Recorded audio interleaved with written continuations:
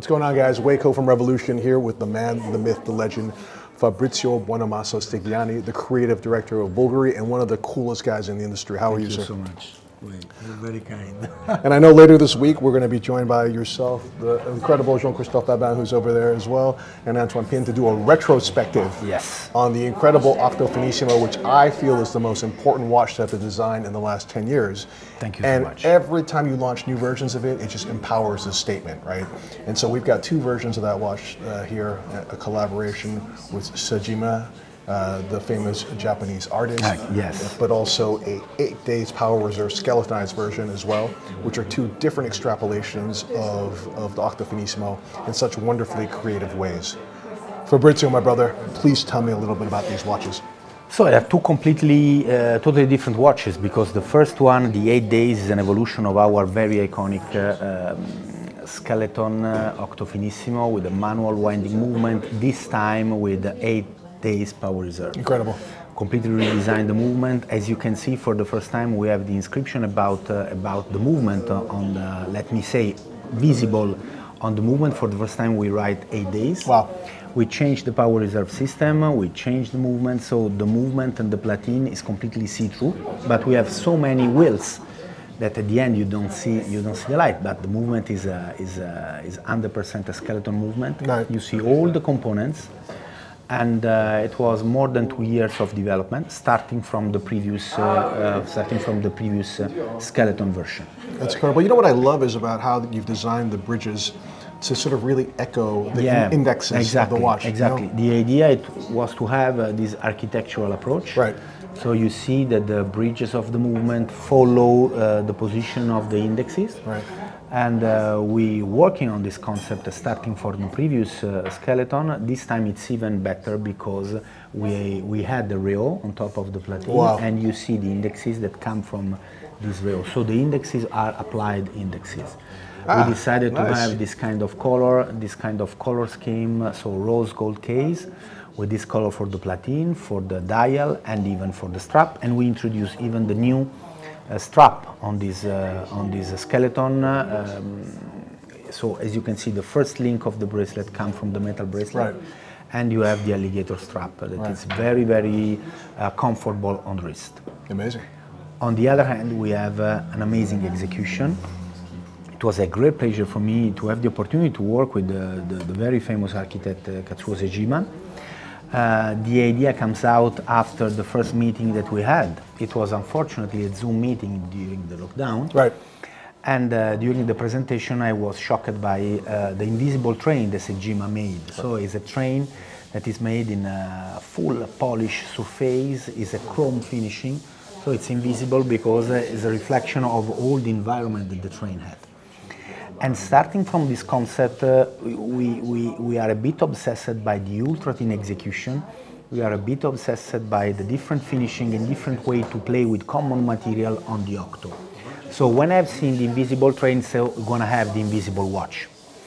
And uh, the invisible watch could be the latest uh, complication when we talk about uh, ultra thin execution because it's going to be invisible. Right. This was uh, this was a bit our our idea. Right. And uh, the second point it was to work with the same material and the same finishing for case, bracelet, dial, and indexes. So this watch is a mirror, reflect all the things that is around you, and each time that you read the time, you see your face on the dial. So you are your time. And this was a, a philosophical concept that you can find around this watch. But at the end, it's a very, very unique execution that we made in 360 pieces. And it was a great pleasure to work with Sejima that has a lot of elements in common in terms of uh, proportions and way to play with shapes uh, uh, that, that we can find in our brand. Amazing. Uh, tell me a little bit about these micro dots that are applied to the Yeah. sapphire crystal. The micro dots are applied on the on the inner part of the crystal sapphire. It's just to give you a texture. Right. And you can see when you turn the watch under the light, sometimes it's totally invisible, and some other times you can see the dots. The idea was to apply the texture. Right. This was asked from uh, Sejima Oh, to have a certain uh, um, yes to have a certain uh, different mood, not Right. just a watch completely plain with this chrome finishing, but just to have a different shades on the dial. You know, I get what you're saying because somehow if you have it that it's completely polished as Yeah. well, it becomes almost too monochrome. You know, This was the idea to add something, but something very subtle that works uh, overall with the, with, the, with the design of the watch. Incredible. This is amazing. I also like the fact that this is um, it's, it's actually pretty accessibly priced. Yeah. You know, it's, It's almost the same price of the regular collection. That's incredible. It's 13, uh, 13K, 30, 13,600. Is it made in a limited edition or? It's made in 360 pieces around the world. Dude, you're gonna like have a major problem allocating these. Yeah, like the sketches. These- like the sketch.